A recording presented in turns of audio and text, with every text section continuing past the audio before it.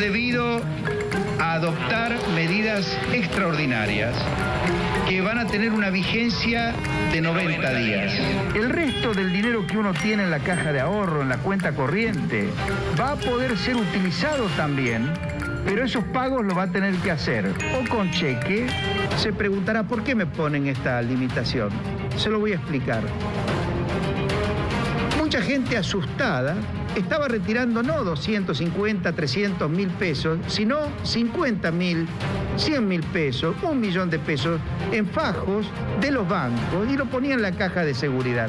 Ese dinero que estaba saliendo del sistema bancario iba a impedir que usted dentro de unos días pudiera sacar los 250 pesos que habitualmente sacaba acabo de venir acá al Societe General, yo tengo mi cuenta en dólares, eh, tengo que sacar 500 dólares que me lo deben dar, me deben dar 500 dólares por mes, entonces me dicen que no tienen dólares. Estaba viajando y necesitaba retirar dinero, saqué una cantidad y cuando quise volver a sacar ya no pude.